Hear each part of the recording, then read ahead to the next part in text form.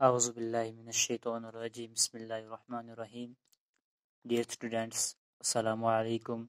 आज हम class third का थर्ड की इंग्लिश का एक चैप्टर पढ़ेंगे जिसका नाम है the balloon man does a balloon man visit your market let's see what this balloon man brings with him तो ये जो पोइट है ये कहता है कि does the balloon man visit your market क्या आपके मार्केट में आपके एरिया में आपके गाँव में एक बैलून मैन, जो बैलून हो गए, गुब्बारे गुब्बारे लेके आदमी आपके गाँव में बेचने के लिए आया है कभी, आया है कभी? Let's see what this balloon man brings with him चलो हम देखते हैं वो क्या क्या अपने साथ लेकर आता है। The balloon man always comes on market days and hold balloons a lovely bunch. And in a market square he stays and never seems to think of lunch. They are red and purple, blue and green, and when it's sunny day, the carts and the people get between. You see them shining far away, and some are big and some are small, all tied together with a string. And uh, if there is a wind at all, they tug and tuggle like anything. Some day perhaps he will let them go, and uh, we shall see them uh, sailing high, and uh, stand and watch them from the below they would look pretty in the sky. तो इस poem का जो poet है, लिखने वाला है उसका नाम है रोज़ रोज़ फेलमैन तो रोज़ फेलमैन इस पोएम में कहता है, एक बैलून एक बैलून मैन के बारे में एक कुछ बातें बोलता है। A balloon man he comes on a market days तो ये जो बैलून मैन है, ये मार्केट में आता है, किस लिए आता है? अपनी बैलून बेचने के लिए।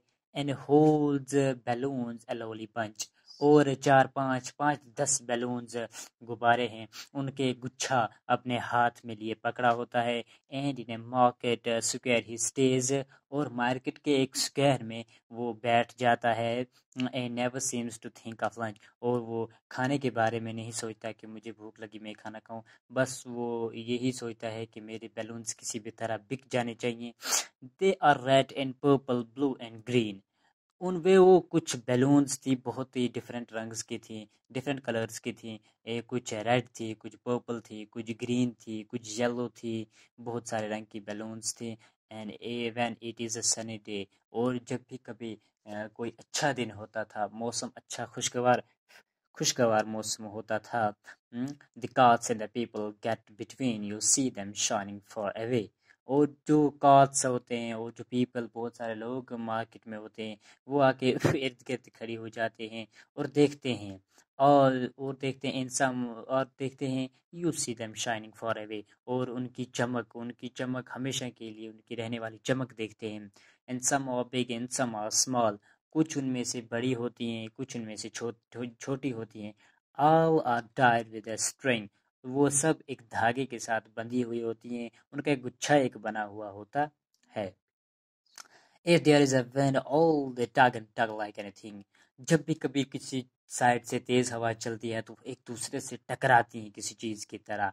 एक दूसरे से टकराने शुरू हो जाती हैं किसी चीज़ की तरह। Someday perhaps he let them go कभी कभी तो हमें ऐसा लगता है कि वो कि वो इन बैलून्स को छोड़ देता, इन बैलून्स को हवा में छोड़ देता। And we shall see them sailing high और हम उसे आसमान में लहराते हुए, उन्हें आसमान में देखते and stand in watch them from below और नीचे खड़े रह के हम उनकी बुलंदियों को उनके उड़ने के अंदाज को हम देखते थे वो लोग फ्राइट इन द स्काई वो बहुत ही खूबसूरत लगती है आसमान में। अगर ये बैलून मैन उनको हाथ से छोड़ देता तो वो बहुत ऊँचे आसमान में जाके लहराती और हम उनकी चमक नीचे से देखते।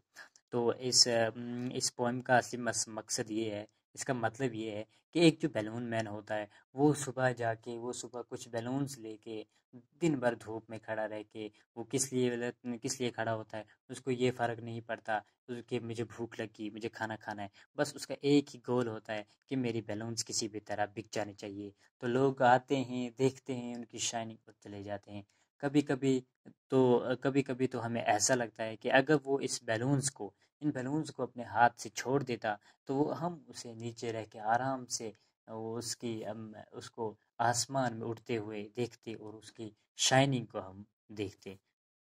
तो आज का सबक इतना ही था। मिलेंगे अगले सबक में। तब तक के लिए खुदा हाफिज़।